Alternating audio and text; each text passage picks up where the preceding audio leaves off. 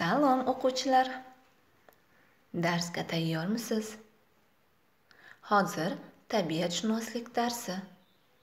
Bugungi darsimizning mavzusi tovush, tabiiy tovush manbalari nima? Bugungi darsda sizlar tovush qanday paydo bo'lishini, tovushlarning qanday tarqalishini, tovushning turlarini tabiiy tovush manbalari nima ekanligini bilib olasiz. Darsda qo'llaniladigan tayanch so'zimiz tovush. Tovush manbai tabiiy tovush manbai. Dunyoni bir zumga tovushlarsiz tasavvur qilib ko'ring. Tovush bo'lmaganida hayotimiz juda ham zerikarli bo'lgan bo'lar edi. Qushlarning sayrashi suvning shildirashi musiqa ovozi hayotning borligidan va shu borliq ichida o'zimizning hayotligimizdan dalolat bo'ladi. O'quvchilar o'ylab ko'ringchi tovush qanday bo'ladi?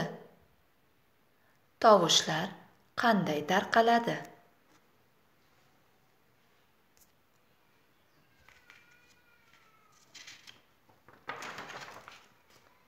Biz doimo har xil tovushlar qurshovida bo'lamiz.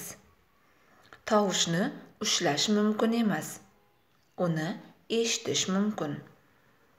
Tabiiy tovush manbalari bular tabiatdagi tovushlardir. Masalan barglarning shitirlashi qushlarning chug'uri suvning shovqini insonning ovozi bularning barchasi tabiiy tovushlar hisoblanadi. Inson qulog'i eshitmaydigan tovushlar ham bo'ladi. Masalan ultra tovushlar va infratovushlar biroq hayvonlar bu tovushlarni eshitadi. Va farqlay oladi. Ularning eshitish qobiliyati insonga qaraganda kuchliroqdir. Tabiiy tovush manbalari tabiat hodisalari va obyektlari hisoblanadi. Ular chiqaradigan tovushlar tabiiy tovushlar deyiladi. Tabiiy tovushlarga turli xil hasharotlarning ovozi. Qushlarning chug'uri uy hayvonlari uy parrandalari. Yovvoyi hayvonlarning ovozi tabiiy ovoz ya'ni tabiiy tovush hisoblanadi. Siz bilasizmi? Kulgu yig'i insonning nutqi musiqa kuylashi. Bular ham tabiiy tovushlar. Hisoblanadi. O'quvchilar keling kim ziyrak o'yinini o'ynaymiz?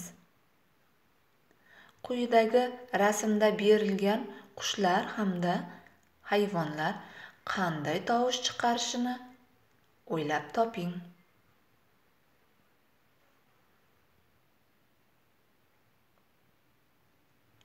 Barakalloh o'quvchilar.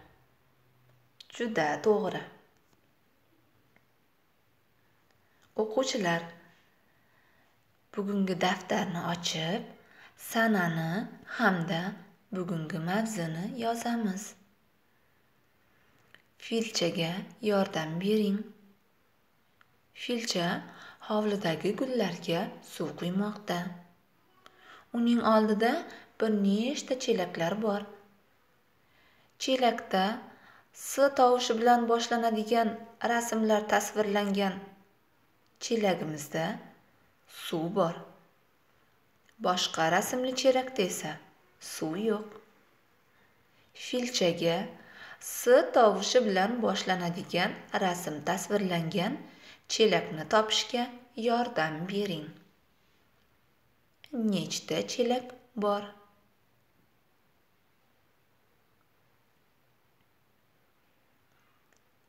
Barakalla o'quvchilar.